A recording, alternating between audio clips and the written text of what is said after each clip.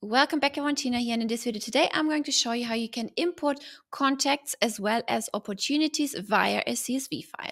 So maybe you are moving systems from one CRM to this CRM and you want to upload all the contacts in bulk into your pipelines.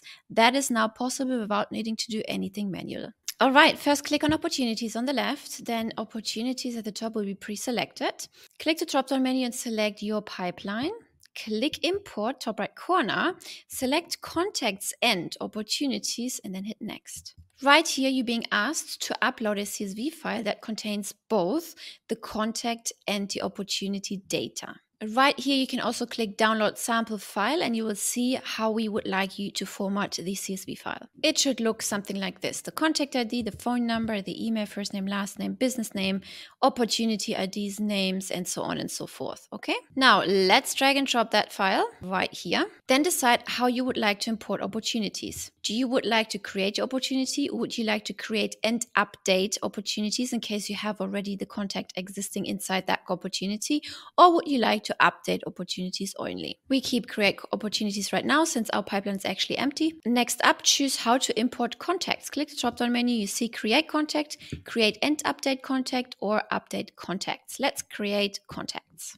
So if the opportunity ID is provided in your Excel sheet, the opportunity will be updated. If the opportunity ID is not provided, the system will create a new opportunity, okay? And also the contact deduplication settings will automatically be fetched from the global settings and cannot be changed during this uploading process. If you click settings right here, you'll be forwarded to the business profile where you can then turn on or off allow duplicate contacts, okay?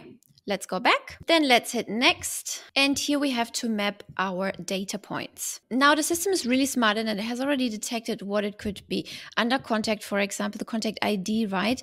It says contact. So if you click the drop down menu, you see contact and opportunity. So yep, we're gonna keep contact right here. Under the drop down fields, it was pre-selected contact ID. So here we go. That's perfect. Under phone, it already mapped the phone number.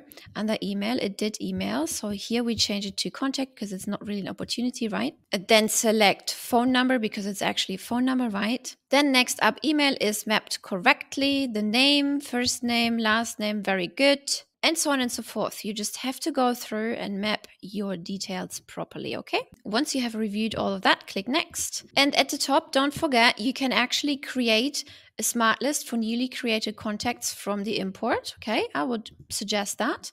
You could add contacts to a specific workflow if you want to welcome them. If you have some promotion going on, you can do that. And then you click the drop down menu here and select any of your workflows. Let's uncheck this for now. And then you can also add tags to the contacts, which I also would recommend so that you can always keep track of who are these people, where did they come from. So you would click the drop down menu and select your tag and that's it. Down here, you need to confirm that all contacts in this import have consented to hear from you, okay? That you have previously contacted them in the last year and that this list is not from a third party. And then you just click Start Bulk Import. Now, while this is bulk importing, you can go to opportunities and then bulk actions at the top, and you can see exactly what is happening here, the progress of that particular import. Then, if you want to have more insights on the actual bulk action, click on it, and a new window will pop up right here, which tells you, hey, all of these contacts and opportunities have been imported successfully, or there was an error maybe, or there is even a warning. If you wanted to, you can scroll down again and download all this data again. And that's it already. This is how you import contacts and opportunities via CSV file to your pipelines. I hope you like this feature and I will see you in the next video.